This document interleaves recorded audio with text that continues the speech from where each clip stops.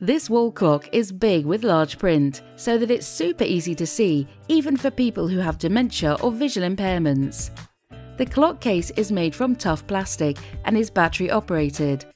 The clock is white with black numbers and hands. The full date is displayed in contrasting black and white text. Having a clock in a prominent place may help people with memory or cognitive problems to understand the time of day.